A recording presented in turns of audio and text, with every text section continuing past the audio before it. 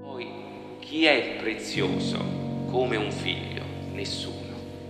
Nessuno più prezioso di un figlio, più caro di un figlio. Nessuno più amato di un figlio. E nessuno più ricercato di un figlio.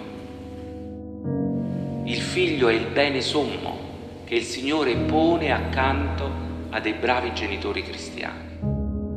Ha avuto fiducia in voi e allora adesso aiutatelo a crescere, come cresceva Gesù, come cresceva Gesù Rita, età, sapienza e grazia. Antonio e Annalisa. Ecco, vi raccomando, siate dei bravi padrini.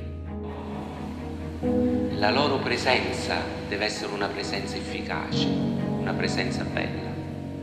Devono aiutare Alessandro a crescere come buon cristiano.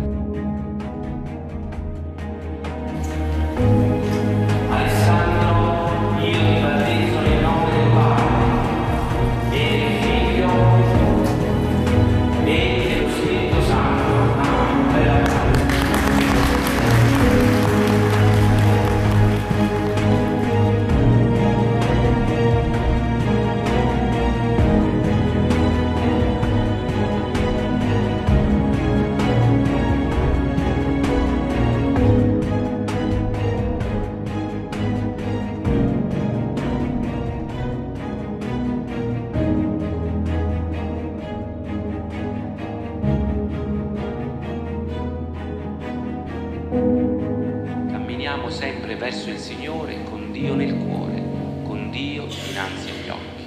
Amen. Sia lodato Gesù Cristo.